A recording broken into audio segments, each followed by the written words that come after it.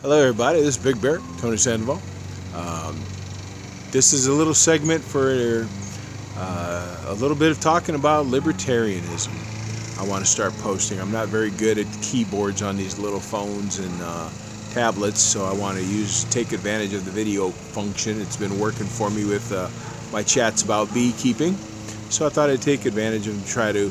There's people that I talk to that I want to have a calm, rational discussion about uh, libertarianism and what it really is. I think people have a, a misunderstanding, uh, sometimes often confuse libertarianism with anarchism.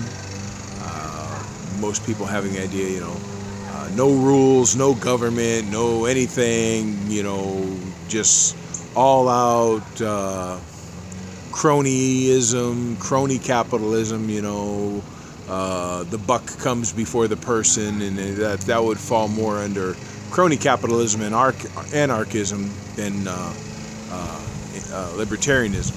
It, it, really is not libertarianism that concept, uh, but it's been pitched that way by so many people trying to push their own little agendas that they've maligned the idea, and that's why I'm here. I want to try to correct some of those concepts libertarian people, minded people, are all about individual liberty. They're about freedom. They're about, we have the, the, the, first lines, we have natural rights given to us. You can call it God, call it Mother Nature, call it the force of the universe, uh, call it the happy accident. I don't really give a patoot what you call it. There's something out there that made us what we are. And based on what that something is that gave us those natural rights that the Declaration of Independence talks about uh, life to lo- rights to life, liberty, pursuit of happiness, among others. Okay, those are our natural rights. We have to have something that protects those natural rights, recognizes these are rights that aren't granted or removed by people. Because if we don't recognize that there is some force beyond us, that gave us those natural rights, then that means people are the end all be all of the hierarchy of power of authority, and that people can take those natural rights from us.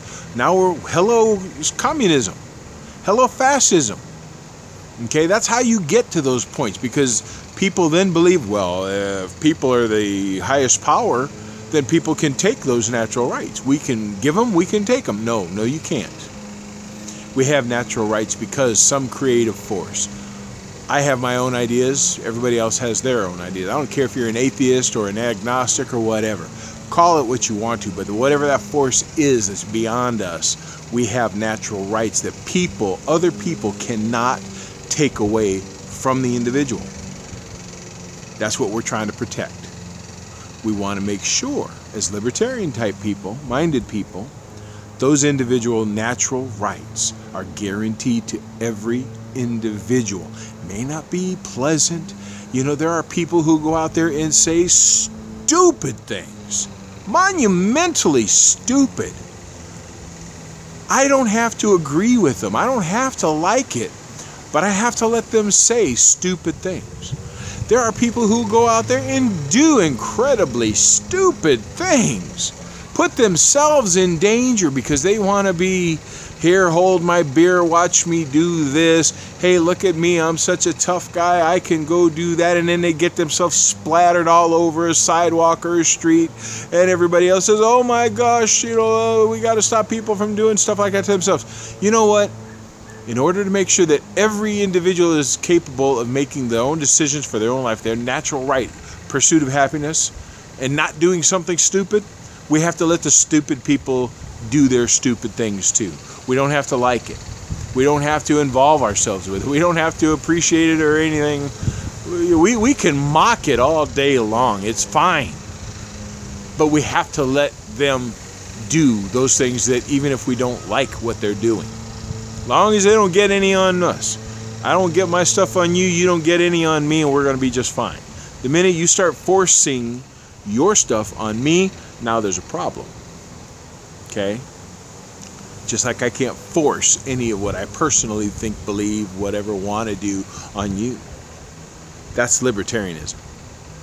Yes, People will do and say stupid things that get themselves in trouble.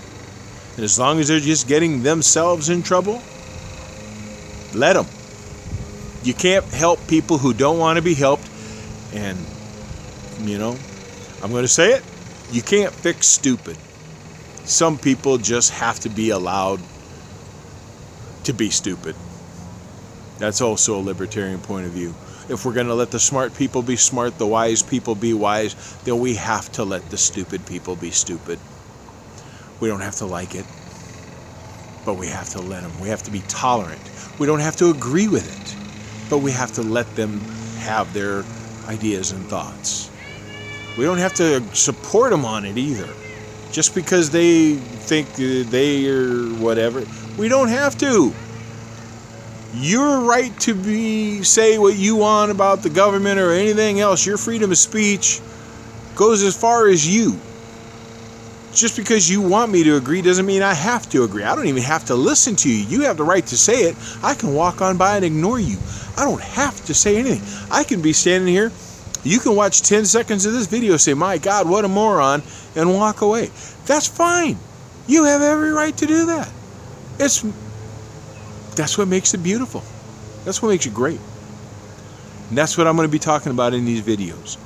Individual liberty, libertarianism, the rights of individuals, the natural rights, how we protect those rights, how we keep the government in as little of a powerful position as possible so that it can only do the one job it was supposed to do.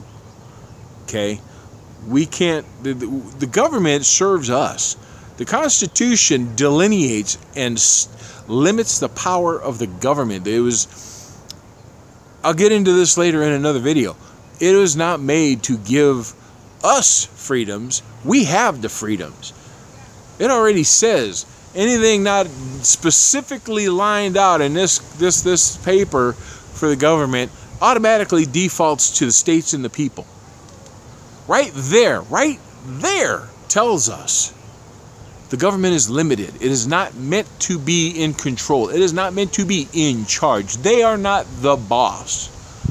They're there to do a job, a specific job, and that's it. That's what libertarianism is all about the individual, individual rights, natural rights, government limited to the little bit of a job it was given and nothing more. Little small groups. Uh, liberty, do we know what liberty is? Do you know liberty means not having to live under the oppressive rule of government? Not just governments, though.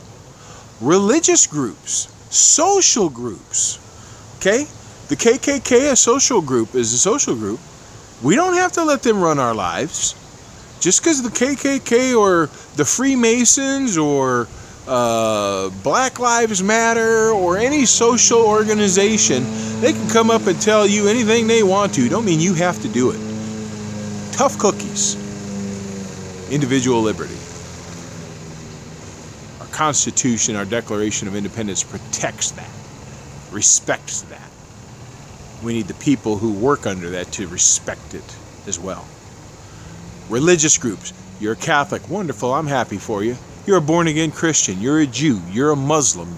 You're, I don't know, Easter Bunny laid eggs, which turns into everybody's spirit. I, whatever. I don't care. Okay? Keep it to yourself.